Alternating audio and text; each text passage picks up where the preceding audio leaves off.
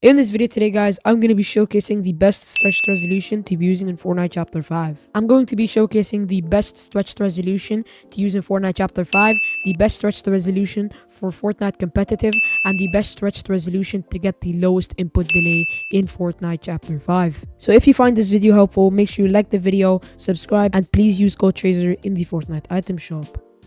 And without further ado, let's get right into the video. The best stretched resolution to be using in Fortnite Chapter 5 is definitely going to be 1650 by 1080. Now, the reason why this resolution is very good is because it's not really close to native and it's not very stretched. Therefore, you're not going to be losing any FOV and it's also been used by pro player FaZe Martoz. At the same time, you're also going to be getting a 25% FPS boost as well as the benefits of stretched resolution, which is improving your aim and edits and obviously getting a huge advantage on FPS. Now, the best stretched resolution to use for Fortnite competitive is definitely going to be 1720 by 1080.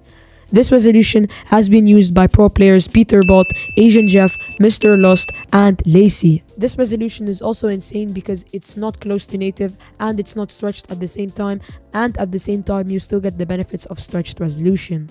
Now, the best stretched resolution for zero delay is definitely going to be 1440 by 1080. I've been maining this resolution since chapter 2, guys, and it's literally zero delay. You're not going to feel any delay while you're using 1440 by 1080, even while you're playing on ranked. You're not going to be feeling any sort of delay. It's an insane resolution, and at the same time, you'll be benefiting from a 50% FPS boost, and it will also fix your FPS stutters guaranteed. It's such a great resolution but you'll be losing a little bit of FOV, which is kind of bad. But to be honest, for the benefits you're getting, you should definitely try the stretched resolution. Alright, so I've been seeing lots of lots of people not knowing how to set up stretched resolution. So right here is how to set up stretched resolution on your PC. It's very simple. Make sure you follow all of the steps. So the first thing you want to go ahead and do is open AlphaRes. The link will be down below in the description. And then you want to go ahead and enter your desired resolution. So for me, I'm going to be playing on 1650 by 1080 which is the best stretched resolution to be using in Fortnite chapter 5 and you want to cap your FPS at your monitor's refresh rate so for me it's going to be 144 FPS then you want to make sure to have it on full screen and uncheck read only and click apply once you're done with that uh, by the way, the link for the AlphaRes is down below in the description. Once you're done with that, you want to go ahead and search for NVIDIA control panel on your search bar.